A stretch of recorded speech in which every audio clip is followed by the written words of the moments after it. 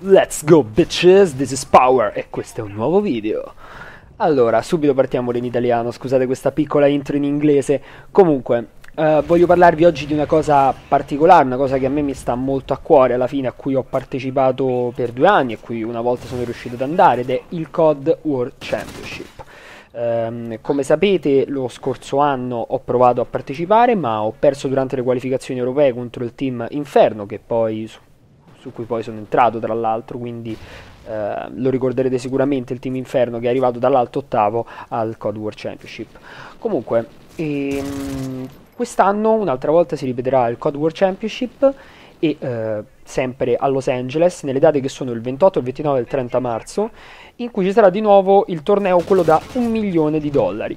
Cos'è questo, mh, diciamo, il Code World Championship? È un evento in cui giocano, un un evento offline, una, una LAN come viene chiamata, in cui si affrontano quelli che sono i 32, eh, vengono considerati i 32 migliori team da tutta Europa. Come funziona, diciamo, mh, il COD World Championship? Bene, in ogni nazione ci sono delle qualificazioni. In questo caso l'Italia ha uno slot. Eh, cosa si intende per uno slot? Bene, vuol dire che ha la possibilità di ehm, poter avere due posti, perché ogni slot sarebbero due posti che possono partecipare a quelle che sono le qualificazioni europee, per poi eliminare un team che volerà quello vincitore al COD World Championship. Tutto ovviamente spesato dall'Activision. Per prima cosa eh, dovete sapere come ci si qualifica. Bene, vi ho lasciato il link qui in descrizione per sapere come ci si qualifica. Eh, ci si qualifica sul, sul sito gamebattles.com, è un torneo molto famoso per chi gioca il competitive o è di PS3, quindi fa tornei, solitamente lo conosce. Eh, I settaggi ovviamente sono quelli MLG. Per chi si chiedesse cosa sono i settaggi MLG, sono i settaggi Major League Gaming, che sono quelli che vengono usati da tutta la community mondiale. Sì, perché ora esiste solo un rule set che è quello mondiale, che è MLG. Comunque, passiamo ai settaggi, vi spiego quali sono. Sono Blitz, Dominio e Cerca e Distruggi.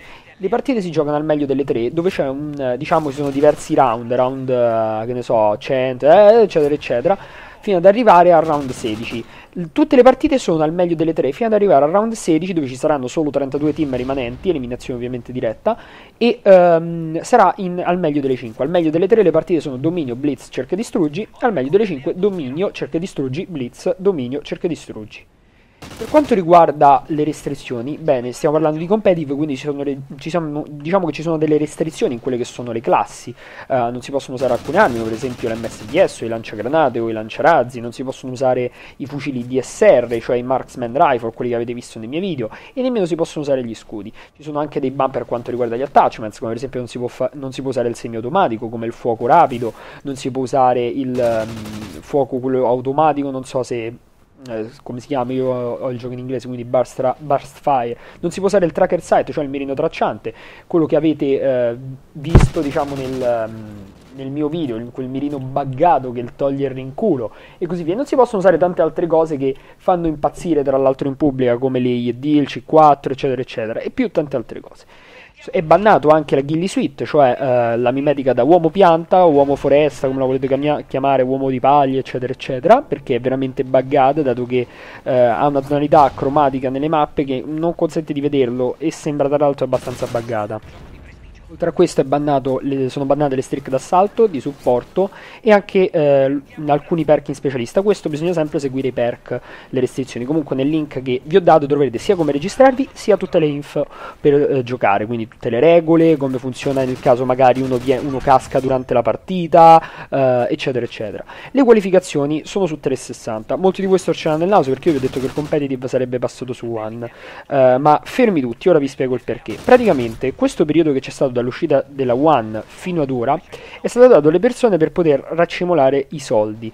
Eh, questo perché? Perché le qualificazioni saranno giocate su 360 online su questo torneo che- di cui vi ho dato il link qui sotto. Una volta che i team verranno qualificati, parteciperanno a quella che è la Gfinity. La Gfinity è un torneo, un evento in cui partecipano di solito sempre i migliori team da tutto il mondo, in cui i due team della nazione si sfideranno e uno verrà eliminato. Si giocherà però su One, su Xbox One. È stato tutto questo tempo per chi viene giocato su 360 perché ancora la community è ferma su 360, si sta dando tempo alle persone di comprare l'Xbox One e quindi di diciamo di omologarsi a quello che è il torneo per poi fare il passaggio definitivo con il code World Championship alla One.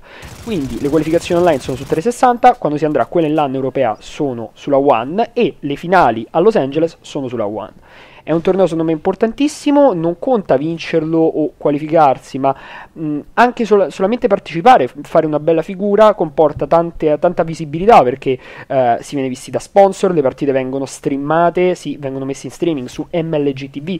Per chi è un pochino pratico di queste cose, MLG TV è uno diciamo, dei siti dove vengono proiettati quelli che sono i tornei maggiori americani, ma anche europei ora, perché come sapete o non sapete, la Gfinity è entrata a far parte dell'MLG. Um, per chi volesse, diciamo, altre, cioè, volesse fare altre domande, vi invito a farle qui sotto, ovviamente, cercherò di rispondervi. Scusate se in questo periodo non ci sono molto, ma sono veramente molto impegnato.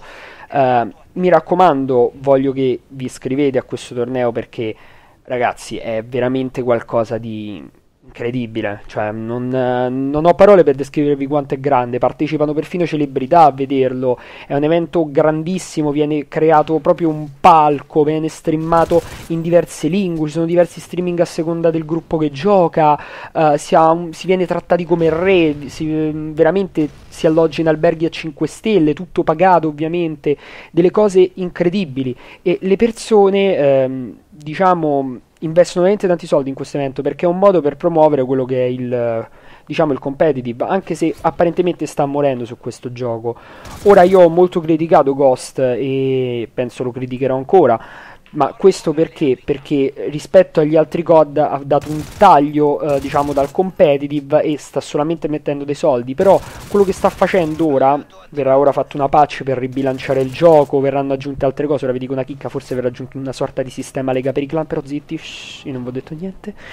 Quindi stanno cercando ora di fare qualcosa, forse, forse posso avere ancora un po' di speranza su, diciamo, su quello che è il futuro di COD.